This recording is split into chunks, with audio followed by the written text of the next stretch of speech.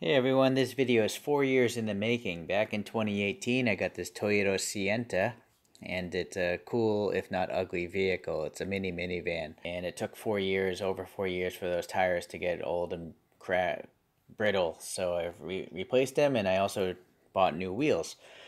And so I went with smaller wheels. Uh, the original one came with 16 inch wheels, but I went down to 15 inch wheels. Um, the lightest 15 inch wheels I know of are called Rays CE28Ns.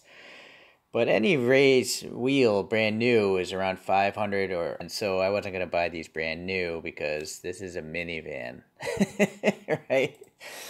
So um, I went with something called the Eco Drive. They're still made by Rays, and I think they're originally meant for the Toyota Prius um, because they have a 5x100 hole pattern. But all rays are forged, meaning they're lighter weight because the metal is forged together instead of cast. And so I bought these off Croooober, a Japanese website, and they were like $300 for the wheels, but with shipping and import tax, I paid like $700. Um, so I took it to a shop, of course, and I brought a scale with me. So you can see these weights here. Each original 16 inch wheel on the Sienta weighs 9.5 kilos on average. I also decided to weigh the tires. Uh, the old tires were called Bridgestone Turanza ER33s, and they averaged around 8.6 kilos after 30,000 kilometers of use. They must have weighed a lot more than that when they're brand new. this one in the bottom corner was a uh, to replace a flat tire, so that one is fairly new and it weighs a lot less, 8.1 kilos. Alright, so I decided to go with uh, Bridgestone Ecopia EP300s because I'm trying to stick with the economy thing here. And each of these tires averaged out to be 8.1 kilos brand new, so that's good. A wheel plus a tire originally was 18 kilos, but now we're down to 12.25 kilos. So each wheel saves over almost six kilos, or a total of like 24 kilos or 52 pounds was saved by swapping over to these new wheels and tires. They're actually technically used wheels and tires. So, not the prettiest looking thing, but again, it's an ugly minivan and now it's got some uh, smaller wheels. Alright, so we have to actually read this from the bottom. Uh, I use a thing called fuel log, and you have to enter the odometer and how many liters or gallons you put in. You can change it to imperial metric.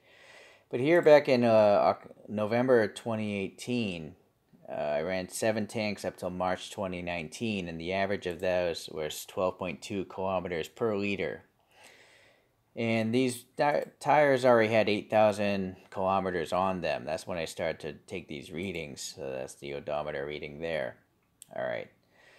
So three years and one month later, uh, the last seven tanks before I switched over to these new wheels are here. So this is now uh, May tw- 2022 up until almost November of 2022, these seven tanks. They, uh, are, the average was 13.1 kilometers per liter. So now these tires are older and they actually have a 7.4 increase in fuel economy or or mileage over the newer tires back when they only had 8,000 9,000 kilometers on them. But now they have like 27,000 kilometers on them. All right so this tank here on November 8th has to get thrown out because this is the transition tank between the old wheels and the new wheels. So then up here at the top we have the latest uh, seven tanks running these new wheels and new tires.